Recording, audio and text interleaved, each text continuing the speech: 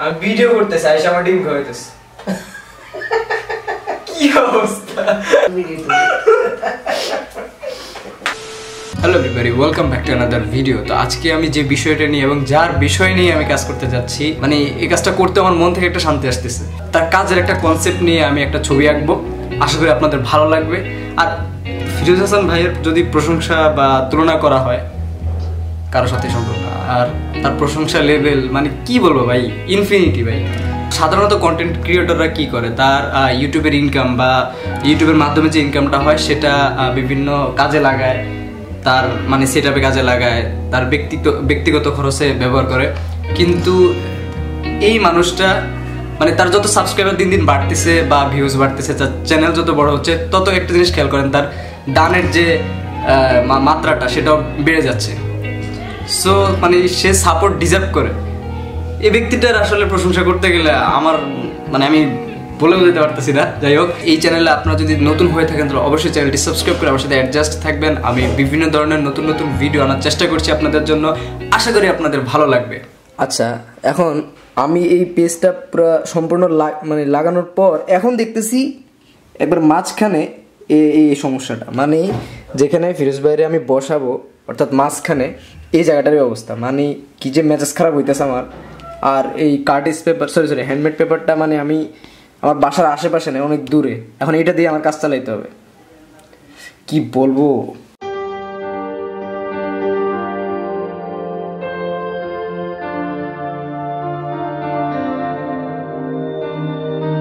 এই ছবিটা পারফেক্টভাবে আঁকার আগে আমাকে আগে একটা প্ল্যান রেডি করতে হয়েছে। এটা হলো সেই প্ল্যানটা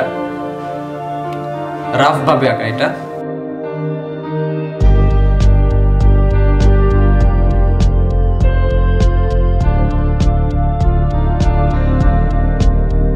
প্রথম ওয়াশটা অবশ্যই পরিষ্কারভাবে দিতে হবে এবং আমি ব্যাকগ্রাউন্ডটা একটু ইউনিকভাবে করার চেষ্টা করছি।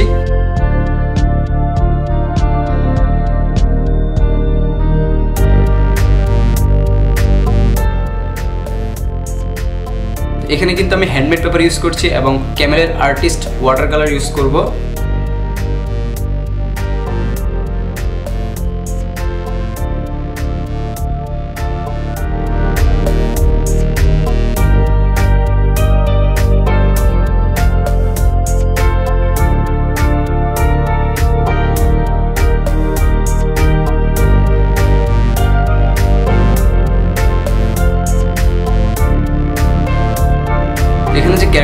আছে, সেগুলো কিন্তু প্রত্যেকটা তার ভিডিওর ক্যারেক্টার আমার এখানে কোনোটা মানে আন্দাজ করে বসানো না।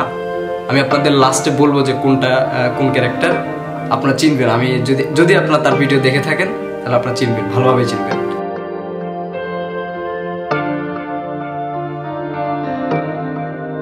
আপনারা হয়তো ভাবতে পারেন যে নিচে আমি এভাবে কেন ছেড়ে ছেড়ে দিছি মানে পুরো ফুল বডি আঁকিনি কেন? মানে এগুলো যার কারণ হলো একটু আর্টিস্টিক ভাইব আনার জন্য। কারণ ছবি তো ছবি, তাই না? একটু আর্টিস্টিক ভাইব থাকবে, তাহলে না ভালো লাগবে।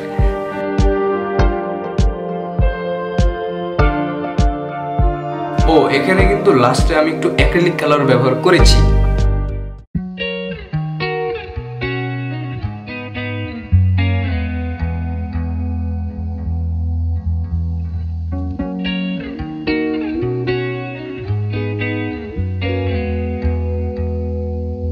ওকে গাইস ছবিটা আঁকা ডান এনজয় দ্য রিভিউ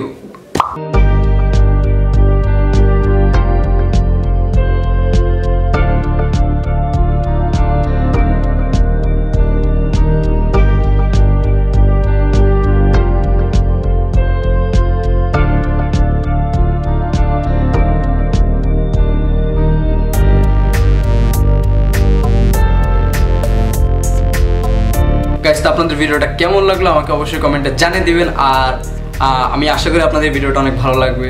সবার সাথে দেখা হচ্ছে নেক্সট ভিডিওতে সবাই ভালো থাকবেন। টাটা!